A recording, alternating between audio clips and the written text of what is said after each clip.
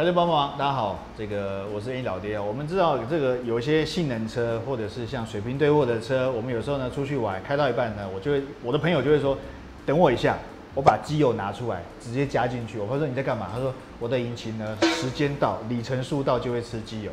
请问一下梅大哥，吃机油应该是正常的，就是在允许的情况下，但是感觉上好像有有些吃机油吃过量，或者说我要怎么去判定说？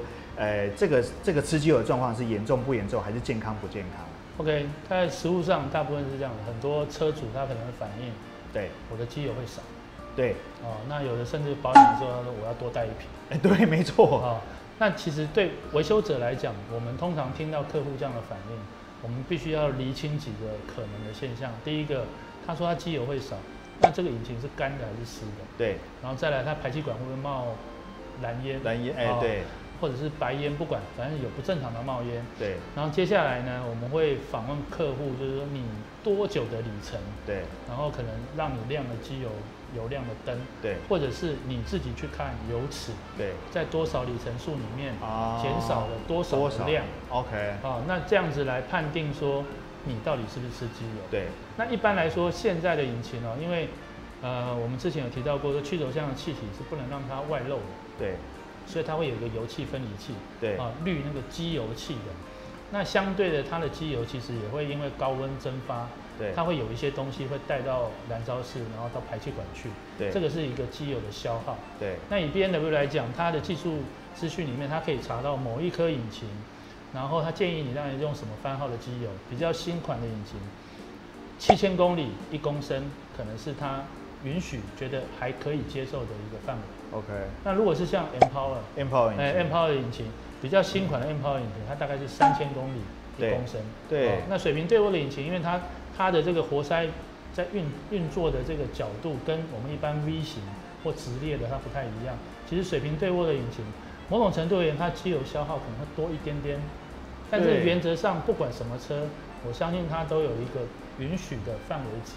OK，那你就像现在比较新的引擎，对，现在缸内直喷的引擎，缸内直喷的引擎它有一个现象就是，呃，因为喷油嘴直接喷出来的东西是在燃烧室里面，对，跟我们过去传统式的喷油嘴喷出来的时候是在进气气门上面，对，那缸内直喷的引擎它没有办法在进气气门上面喷上燃油的时候，其实让那个进气气门的那个气门杆。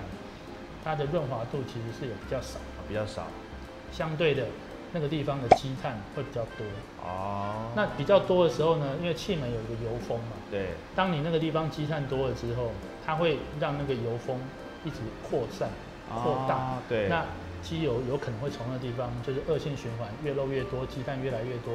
那个地方如果没有适度的清洁，一定里程数的适度清洁跟保养，其实你的机油很容易就在那边消耗掉。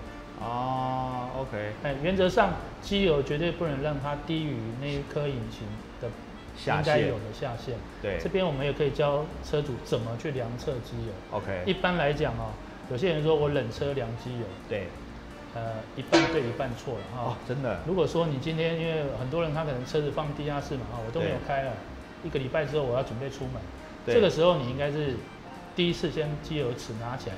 先确定它还在润局里面，对。但是这个只是让你参考，对。接下来你应该是要发动引擎，对。发动个十分钟，十分钟啊，让那引擎整个热起来，就怠速停在那边，对。让它整个热起来之后熄火，等五分钟，等五分钟。哎，这个目的是要让它机油能够上来，啊，打上来上面，跑满引擎是。对，然后让它热了之后又整个又流下来，对。然后那五分钟让它流下来的时间，这个时候再抽起油尺来看它的量，那个时候才是。你要看你这个引擎对量多少，哎，那个地方在这个时候看会比较准。就是时间到了，或者说你想到的话，就看一下你的机油量。原则上是这样的，对不对？因为其实我觉得会自己自备机油去加，代表他对车子应该是有一种程度的关心，他才会知道说我有吃机油嘛。对，对不对？对。但是呢，一般消费者其实像我，其实我我也是去检查的时候，我才我去保养的时候我才会看，因为我自己都不是那么勤快。但是美大哥意思就是说。诶，只要有机会，你可能就是由此拔起来看一下，看你的机油量是不是不足，因为其实机油量不足，对你的引擎就会有一些磨损坏嘛。对啊，你如果在，尤其是如果机油量不足的时候，切记不要拉高转速。OK，哎，就是你维上持，车哎，对，你的转速低一点，想办法去中油去哪里弄到加一个机油。好，这个以上资讯就给各位参考喽。开车帮帮忙，我是 A 老店，我们下次见，拜拜。